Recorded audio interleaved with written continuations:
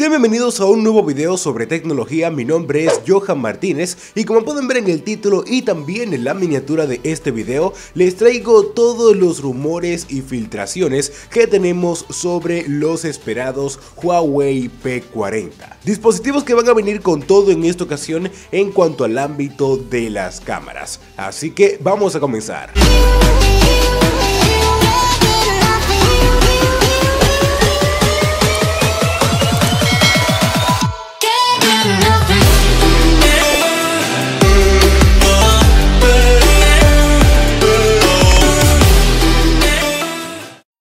Bueno gente, comencemos hablando sobre los modelos que van a venir este próximo 26 de marzo. Y según varias informaciones, Huawei en esta ocasión lanzaría tres dispositivos, ya aparte del Huawei P40 Lite que salió hace algunas semanas atrás. Estaríamos hablando de un Huawei P40, que es la versión normal, luego del Huawei P40 Pro y por último una versión Premium, que es el Huawei P40 Pro Premium Edition, el cual vendría con algunas características superiores en el ámbito de la cámara y también de características internas. Pero ahora bien, ¿cuáles serían las diferencias en el ámbito del diseño de estos tres teléfonos? Comencemos con el Huawei P40, el cual en su parte trasera contaría con un módulo de cámaras rectangular en donde tendremos tres sensores y el flash LED del teléfono. Y cabe resaltar además de que las cámaras de estos teléfonos van a estar firmadas por Leica. En cuanto a la parte frontal de este Huawei P40, este en esta ocasión va a venir con una pantalla perforada y mejor aprovechada en comparación con la versión anterior,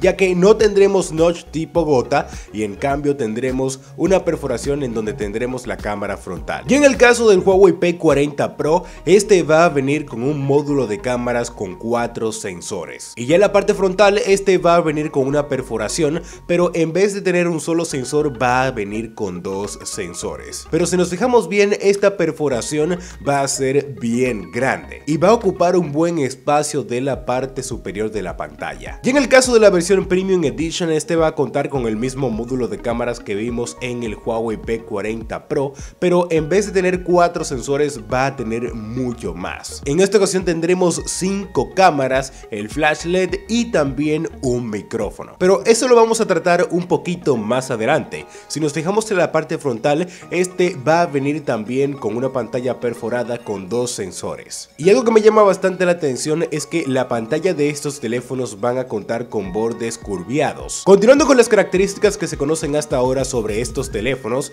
es que las pantallas van a traer una tasa de refresco de 120 Hz y los tres van a venir también con el Kirin 990 5G de 8 núcleos. O sea que los tres teléfonos van a tener compatibilidad con redes 5G. Pero ahora concentrándonos en las características de la versión premium de estos teléfonos, del cual es que más se conocen informaciones. Este vendría con una pantalla de 6,7 pulgadas OLED en resolución Quad HD Plus y una resolución por píxeles de 3160 x 1440 píxeles. Este como les dije anteriormente va a venir con una tasa de refresco de 120 Hz, Kirin 995G de 8 núcleos, 12 GB de memoria RAM como máximo y 512 de almacenamiento, la cual va a poder ampliarse vía nano card y ya en el ámbito de las cámaras este va a venir con 5 sensores, un sensor principal de 52 megapíxeles, un gran angular de 40 megapíxeles, un telefoto de 8 megapíxeles, un sensor TOF 3D y otro sensor telefoto el cual va a poder ser capaz de hacer zoom óptico 10x. También si nos fijamos en el módulo de cámaras, este teléfono va a contar con un sensor de temperatura de color,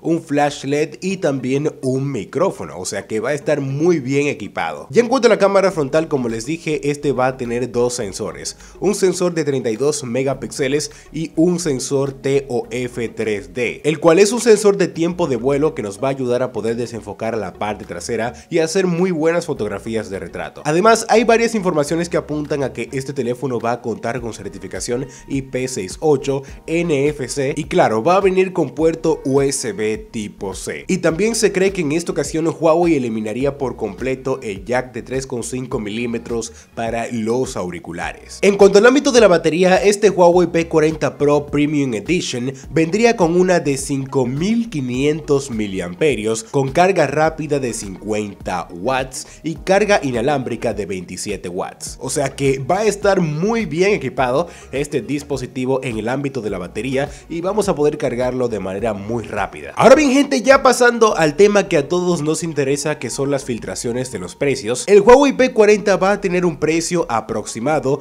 de los 799 dólares a los 899 dólares. Ya el Huawei P40 Pro tendría un precio de 999 dólares a los 1099 dólares. Y ya la versión Premium Edition sí que va a tener un precio bastante alto, ya que estaría entre los 1199 dólares a los 1299 dólares. Cabe resaltar gente que ninguna de estas informaciones está confirmada al 100%, así que solamente sería cuestión de esperar al lanzamiento de estos dispositivos este próximo 26 de marzo. Me gustaría como siempre que ustedes comenten aquí debajo qué opinan sobre todas estas filtraciones y cuál de estos tres dispositivos ustedes se comprarían. El Huawei P40, P40 Pro o P40 Pro Premium Edition. Así que recuerda dejar tu like, comparte y suscríbete en este gran canal ya que diariamente estamos compartiendo interesantes videos sobre tecnología. Así que nos vemos en una próxima.